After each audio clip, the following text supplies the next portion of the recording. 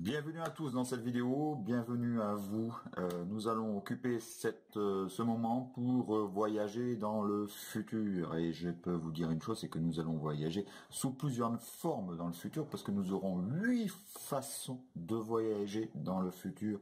Et je vous le démontre tout de suite. Alors, la première forme, ce sera Will et Charles. Nous allons voir le futur progressif. Nous allons voir Be Going To. Nous allons voir le présent simple le présent progressif, nous allons voir be to, nous allons voir be able to, et enfin nous finirons avec le futur antérieur. Quel voyage fantastique on y va tout de suite, on ne peut plus attendre. Let's go alors, dans cette première façon de voyager vers le futur, nous avons euh, Will et Charles. Will et Charles, c'est, euh, ce sont deux auxiliaires, effectivement, qui représentent le futur simple. Voilà, ils sont exprimés systématiquement à côté du sujet principal euh, pour euh, effectivement exprimer que on se transporte vers un futur. Voilà. Alors, euh, il faut savoir une chose, c'est que sauf exception très rare, Charles est très peu usité, employé en Angleterre. C'est vraiment sauf exception que je vais vous montrer tout à l'heure, mais sinon c'est toujours Will. Voilà. Euh, ça fait un peu, euh, si vous voulez, ça fait un peu vieille France. Je suis obligé, moi, de vous en parler, de vous traduire, parce qu'effectivement, si vous le rencontrez tôt ou tard, vous direz, bon, euh, il m'en a pas parlé, Christophe, euh, je sais pas, je sais pas de quoi il retourne. En fait, si, ça existe, mais ça fait un peu vieux British, voilà, tout simplement. Alors aujourd'hui, il est vrai que c'est très peu usité. Alors en plus de ça, ce qu'il faut savoir, c'est que euh, n'est euh, que de sauf rare exception. C'est pour inviter à quelque chose, c'est pour suggérer quelque chose. Euh, dans les deux exemples que je vous donne ici, on va les voir, c'est on y va, shall we go, shall we go? là, on va pas mettre will. Sera pas jamais vous n'entendrez will we go. Non, ça jamais. Donc ça, ce sont des exceptions. Shall we go? Ou alors autre modèle de suggestion, ce sera tu veux que je te le fasse. Euh, shall I do it for you? Shall I do it for you? Ok. Et là aussi on ne mettra pas will. Là ce sont des euh, exceptions de suggestion. Mais sinon, les trois quarts du temps, vous ne rencontrerez jamais shall. Et si vous devez employer shall euh, par exemple à l'écrit, ce sera la première personne du singulier et la première personne du pluriel, je ou nous. Pour les autres forme de, personne, pour les autres personnes, ce sera will. Voilà. Donc will est toujours usité. Voilà. Et puis euh, voilà, mais dans l'expression euh, langage courant, euh, linguistique, euh, l'anglais parlé, on utilise toujours will. Alors ensuite, il y a aussi une, petite chose qu'il faut savoir. la plupart du temps, vous ne distinguerez pas will et shall dans la, dans, la, communication courante, dans le langage courant. Pourquoi? Parce que les Anglais contractent will et shall dans le langage commun euh, avec apostrophe 2 L. Apostrophe 2 L. I'll, ça peut vouloir dire I will ou I shall. Parce que will a deux L à la fin, shall a deux L à la fin. Et les Anglais contractent dans euh, l'expression courante avec apostrophe 2 L. Et will, il, voilà, you'll, voilà. Au lieu de you will, ils disent you'll. D'accord? Voilà. Donc, ici, un exemple. Au lieu de euh, I will inform Mr. Durand of your decision, j'informerai Monsieur Durand de ta décision, et ce sera I'll, I'll inform Mr. Durand of your decision. Ok? Alors, Ensuite, il y a une autre petite astuce que je voulais souligner sur ce temps euh, futur simple, c'est-à-dire que après, vous avez souvent des phrases avec des temps de des conjonctions de coordination, à savoir quand, aussitôt, aussitôt que, euh, ça peut être aussi euh, une fois que, voilà, ça, ce sont des jonctions de temps. Donc effectivement, juste après, eh bien, on, exprime ces conjugués au, au présent. Voilà. Et dans les que vous allez voir, dans les exemples que vous allez voir, vous serez surpris quand vous le verrez. Quand vous le verrez, vous le verrez, c'est une action aussi future, mais ça se conjugue au présent. Pourquoi? Parce qu'il y a quand, qui est une conjonction de temps. Et quand il y a cette conjonction de temps, on formule au présent. Vous serez surpris quand vous le verrez.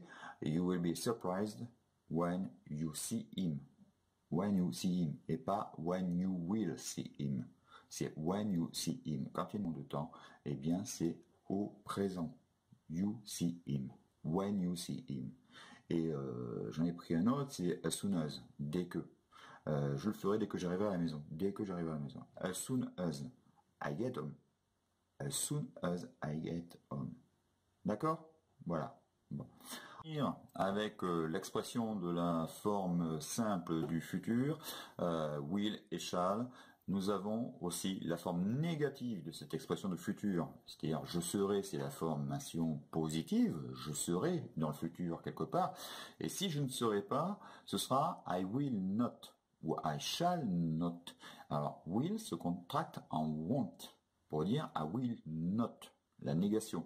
I will not qui se contracte I won't, W-O-N apostrophe T. Et si c'est shall, I shall not, ce sera I shan't. J'ai horreur de cette, cette, cette abréviation-là. Ça sonne mal à l'oreille, mais pourtant c'est ça, I shan't. D'accord? I shan't euh.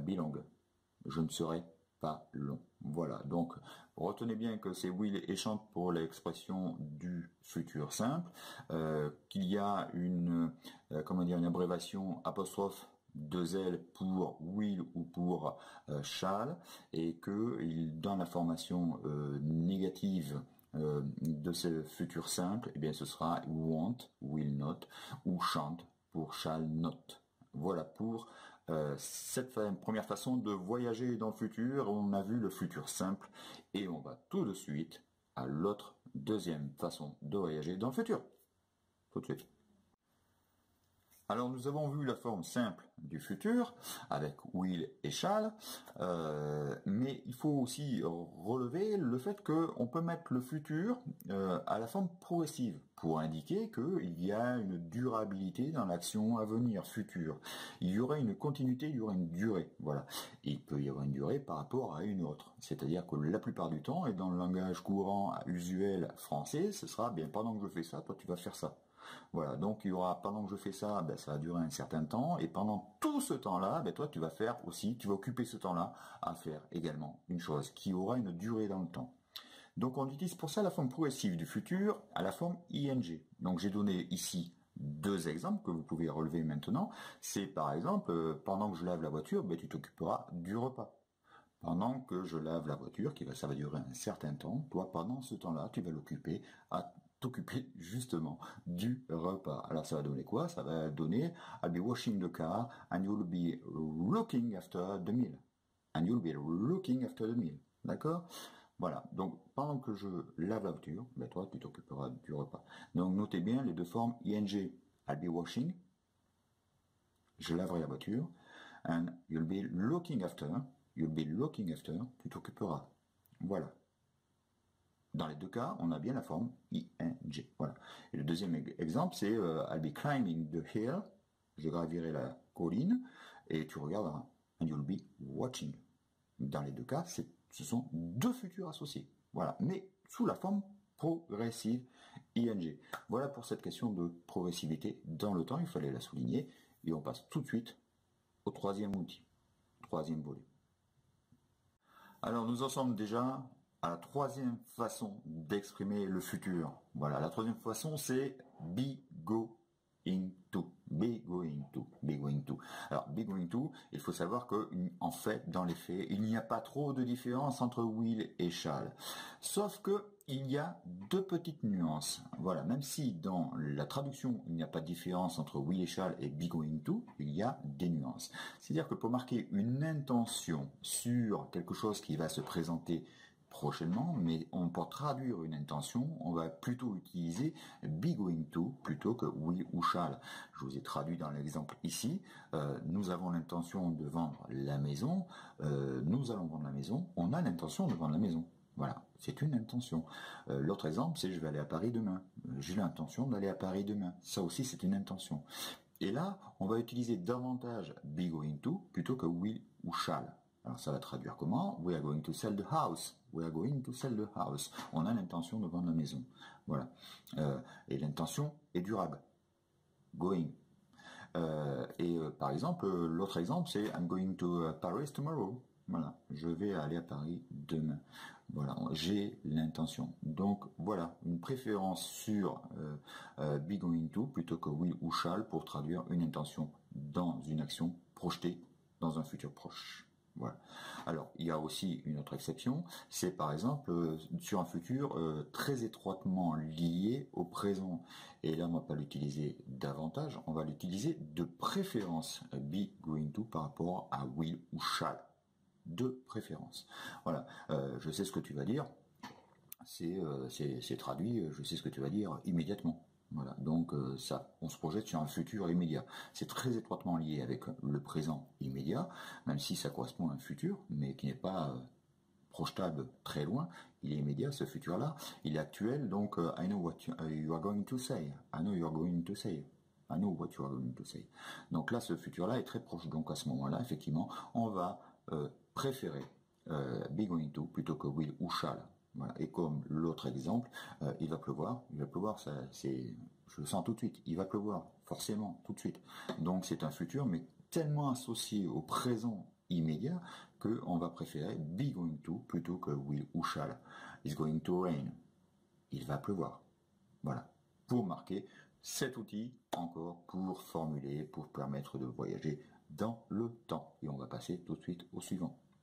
Alors aussi surprenant que cela puisse paraître, euh, les Anglais utilisent le présent euh, pour formuler une action future très proche. Alors c'est pas quelque chose de surnaturel puisque nous nous le faisons également. Quand je dis je vais partir tout à l'heure, je pars tout à l'heure, c'est je pars, c'est euh, c'est du présent. C'est du présent, ça, je pars tout à l'heure. Si je dis je me lève dans une heure, je me lève, c'est c'est du présent. Ben, les Anglais font exactement la même chose. Voilà et l'utilise aussi. Donc là, on peut extrapoler valablement les deux euh, situations anglaises et françaises, les deux configurations pour exprimer un futur proche. Voilà, j'ai relevé deux exemples que l'on va analyser tout ensemble. Euh, je me marie dans deux jours. Je me marie, c'est du présent, mais pour exprimer, pour exprimer une action future euh, prochaine. Voilà. I get married in two days. I get married. I get, c'est du présent. Le train euh, qui va à Paris euh, par 10 heures, euh, the train for Paris leaves at 10 a.m. Et pourquoi AM Parce que c'est le matin. Si c'était l'après-midi, c'est PM. Donc là aussi, on emploie le présent pour traduire un futur très proche. Voilà. Je pars tout à l'heure. C'est du présent. Voilà. Et les Anglais utilisent exactement la même chose. Voilà. Alors ça c'est la première configuration effectivement de l'utilisation du présent pour formuler le futur en anglais. Et il y a ce que j'exprimais tout à l'heure, mais je le réitère là maintenant, c'est quand on a une conjonction de temps. Voilà. When, as soon as, par exemple, ou alors once. Voilà. Hein. donc, euh, donc, quand on a ces conjonctions de temps, effectivement, et comme je l'ai traduit là ici, ce n'est juste qu'un rappel, comme je l'ai traduit tout à l'heure, après une conjonction de temps, effectivement, eh bien, c'est conjugué pour traduire une action future, c'est conjugué aussi au présent. Voilà, on passe tout de suite à l'autre moyen de voyager dans le futur. Façon d'exprimer également le futur, c'est euh, le présent progressif. On a vu tout à l'heure euh, la fois passée le présent simple aussi pour exprimer, pour traduire euh, le futur et notamment à la suite d'une conjonction de temps. Et bien là, on a aussi le présent progressif, effectivement, pour utiliser pour traduire futur. Alors, il, c'est le passé, le présent, pardon, le présent progressif est très, euh, vous allez c'est très nuancé, mais pour moi je vois pas trop de différence entre will, voilà, et puis euh, be going. Je ne vois pas trop de, euh, de différence. Euh, bon, après c'est tout un chacun. Il faut savoir que le présent progressif existe. Euh, après, c'est tout un chacun selon la situation, utiliser soit le présent progressif, soit will ou soit be going to. Voilà. Et dans les deux exemples que j'ai illustrés ici, on va voir cette nuance là. Voilà, et on va la relativiser. Voilà. Alors ici, on a quoi? On a, euh, par exemple, euh, je prends le vélo ce matin. Alors je prends le vélo ce matin, ce sera euh, le présent progressif. I'm taking the bike this morning. I'm taking the bike this morning. Mais ça pourrait être be going to. I'm going to take the bike this morning. Je vais prendre le vélo ce matin. Au lieu de je prends le vélo ce matin. Alors, La nuance, elle est là. Euh, je vais prendre le vélo ce matin, be going to, je prends le vélo ce matin, présent progressif. Ça paraît surnaturel, hein, mais bon, c'est comme ça, il faut savoir que ça existe. Voilà, comme je le disais. Par exemple, autre aussi euh, pour euh, l'exemple du train que j'aime beaucoup, le train pour Paris part bientôt. The train from, for Paris is leaving soon. The train for, Paris is leaving soon. Et non pas the train for Paris will leave soon. Ce qui veut dire strictement à peu près la même chose. Le train va partir tout à l'heure. Le train va partir bientôt. Voilà. Donc dans un cas, on utilisera will et dans l'autre, on utilisera le présent progressif. Voilà. Ça, c'est au choix, selon la situation. C'est au feeling, c'est à vous de le sentir. moi je vois pas trop de différence entre le présent progressif et puis will ou euh, euh, will et puis going to. Voilà, je n'en vois pas trop d'écart, trop de différence dans la signification, dans l'intention, dans la traduction. C'est tellement nuancé que bon, je ne vais pas insister là-dessus, mais il faut savoir que ça existe, le présent progressif, pour traduire effectivement le futur. À tout de suite. Alors, autre option pour traduire le futur, c'est euh, l'outil B2. Alors B2, alors c'est euh, c'est un outil qui, euh, une fois dans sa forme conjuguée, est utilisé surtout pour traduire un projet. J'insiste bien sur le fait d'un projet, un projet futur. Mais ce projet futur a une particularité, c'est qu'on ne le maîtrise pas. Ou alors effectivement bon, ça, ça répond à, quelque chose que l'on subit alors qu'on ne maîtrise pas euh, parce que ça, ça dépend des événements, ça dépend d'un destin par exemple, d'une destinée, ou bien quelque chose que l'on subit parce que les gens ont décidé pour vous à votre place de quelque chose qui va arriver bientôt et forcément ben, vous avez le projet d'y participer. Voilà. Mais ce n'est pas un projet initialement qui vient de vous. Voilà. Donc euh, c'est quelque part vous êtes pris un peu dans les éléments, dans les événements d'une action qui va arriver. Voilà. Donc d'où l'usage de euh, B2 ici. Euh, on va le traduire ici, mais j'insiste bien ici, et je le souligne, je l'ai souligné, c'est dans le cadre d'un projet, voilà, ou que l'on subit, ou alors qu'on ne maîtrise pas. Voilà. Alors Exemple, on se reverra un jour, que l'on peut poser à quelqu'un qu'on a rencontré et qu'on apprécie beaucoup, et on lui pose la question, est-ce que euh, bientôt on se reverra? Mais bon, on n'en sait rien, puis ça dépend pas de nous, ça dépend de l'autre personne en face, si elle est favorable ou pas. Voilà, dans, dans ce cas-là, ce sera be to, mais ce sera conjugué. Voilà. on le voit ici, à la question, are we to meet again Are we to meet again Are, donc c'est be, mais conjugué, et puis euh, to meet, le verbe. Voilà. Are we to meet again Est-ce qu'on va se rencontrer à nouveau? Est-ce qu'on va se revoir? Autre exemple, je dois assister à une réunion. I am to attend a meeting. I am to attend.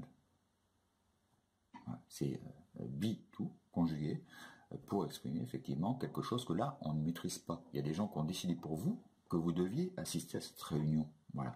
Donc c'est partie de votre agenda futur, de vos projets, mais ce n'est pas quelque chose que vous maîtrisez. C'est quelque chose qui a été décidé pour vous. Donc à ce moment-là, ce sera be to.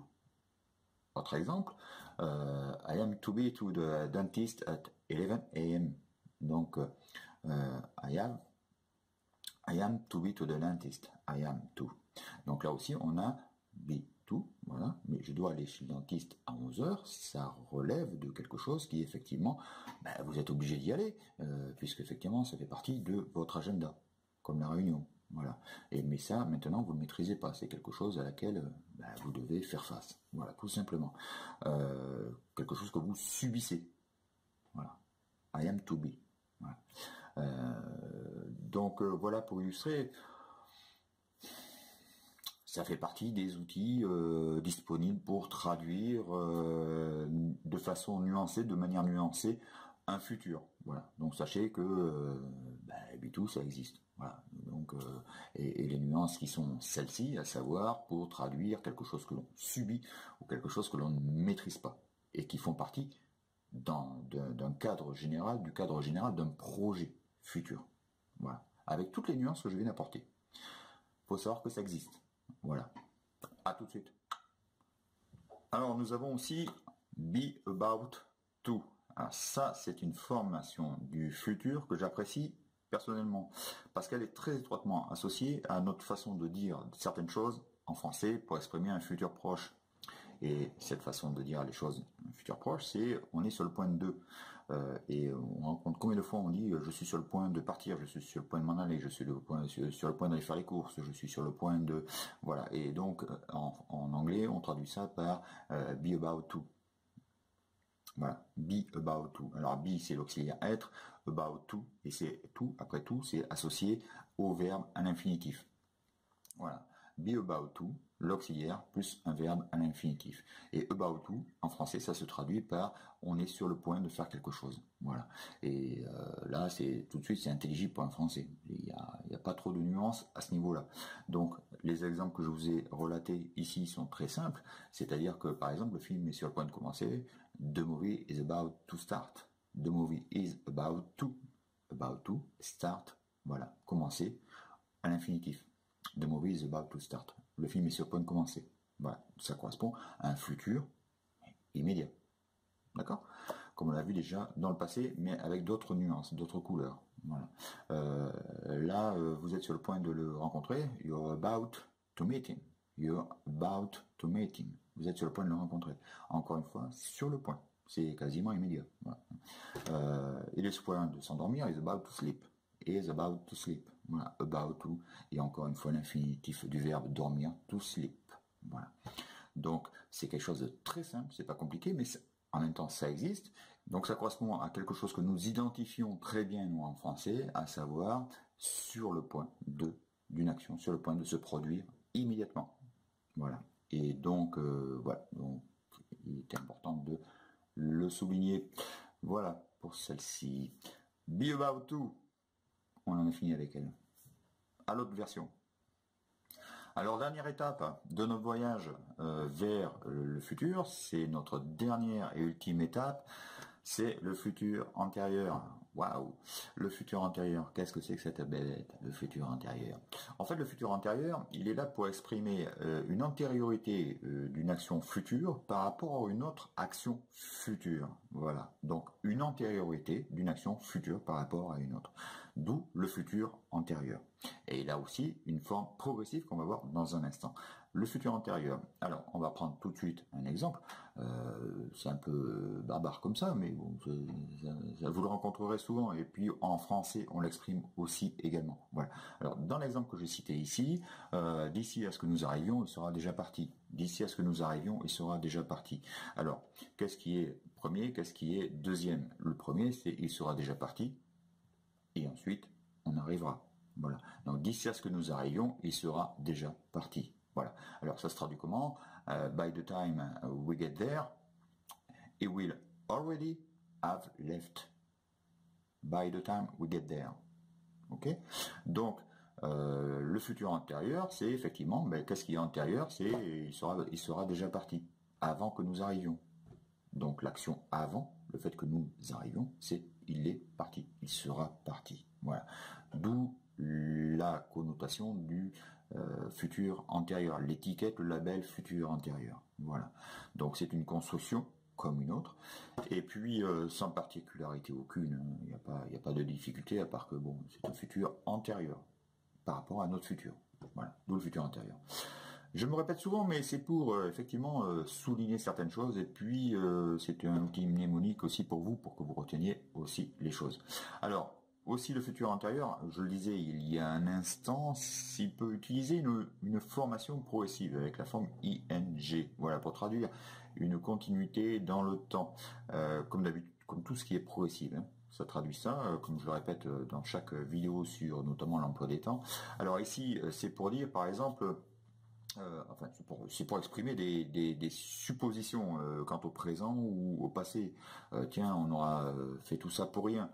on aura fait tout ça pour rien. Voilà. Donc, on exprime un passé, mais on, un futur. Excusez-moi, on exprime une position future. On aura fait tout ça pour rien, mais c'est aussi c'est jugé sur une action antérieure et qui est continue depuis le début jusqu'à ce futur que l'on essaie de traduire. On aura fait ça pour rien. Voilà. Et dans l'exemple que je vous cite, on le vérifie aussi, puisque c'est, euh, bah, on aura alors travaillé pendant 10 ans pour rien. By then, we have been working for 10 years for nothing. D'accord? Voilà. Donc, on part d'une situation passée, on se projette sur un futur, et en projetant sur ce futur, on regrette une situation passée. On émet un jugement sur, euh, sur un passé et une action présente en cours que l'on va regretter. Voilà. D'où la forme ing du futur antérieur. Voilà. Je crois que nous avons fait le tour de des 8, 8 8 façons de voyager dans le futur. Alors, je reconnais une chose, c'est que pour le futur, euh, il y en a qui sont beaucoup plus faciles, beaucoup plus usités dans le langage courant, verbal, que, euh, que d'autres. en, attendant, il faut connaître les nuances, les couleurs de certaines euh, connotations, de certains, certaines formations du futur, effectivement, pour en pour en sortir euh, les nuances et, valider effectivement euh, la situation où on doit se positionner pour exprimer tel ou tel temps. Voilà, tout simplement. Et comment exploiter ce temps, comment employer ce temps en fonction d'une situation ou une autre. Donc on va faire un petit récapitulatif tout de suite. Donc voilà, nous avons terminé sur euh, la question du futur. Nous allons regarder en résumé les différents chemins empruntés pour traduire une action future. Voilà, avec toutes les couleurs, les nuances euh, de chacune. Mais bon, sachez que bon, ça n'a rien de très euh, sorcier. Après, effectivement, il y a des choix opérés par rapport à certaines situations. Il y a des nuances un peu subtiles et comme je le disais tout à l'heure, il y en a pour lesquelles je ne vois pas l'intérêt de les traduire, hein, parce que vous serez de toute façon intelligible, même si dans la plupart des cas, dans la plupart des chemins, effectivement, vous aurez une action qui sera à traduire d'une certaine méthode, avec une certaine méthodologie, d'une certaine manière pour être intelligible. Voilà. Alors on a vu Will et Charles, qui sont des auxiliaires qui permettent de traduire une action, une situation future, le plus souvent utilisée avec la contraction apostrophe LL, Will et Charles. On a vu le futur simple et le futur progressif. Donc le futur simple, c'est et Charles. On a vu la forme progressive du futur simple, le futur progressif qui attribue la continuité d'une action ou d'un événement futur. On a vu be going to pour marquer une intention ou anticiper un futur extrêmement lié au présent. On a vu le présent simple pour évoquer une chose certaine, quelque chose de planifié ou un horaire ou après une conjonction de temps comme je l'ai dit tout à l'heure, when, soon as, once. Le présent progressif pour l'intention ou l'action proche, be-to pour faire référence à un projet que l'on ne maîtrise pas ou que l'on subit. Euh, l'exemple du dentiste, par exemple. Euh, be about to, qui exprime un futur très proche. Et puis, on a vu aussi le futur antérieur avec sa forme progressive pour une action future qui sera achevée avant une autre une fois, on hiérarchise les événements futurs, même futurs par rapport à un autre événement futur. Et quand il y a la progression dans le temps, c'est la forme ing, la forme progressive. Voilà, je crois qu'on en a fait le tour. Alors on se reverra dans d'autres vidéos pour exprimer le présent, le présent simple, le présent progressif. On se retrouvera également pour parler du passé.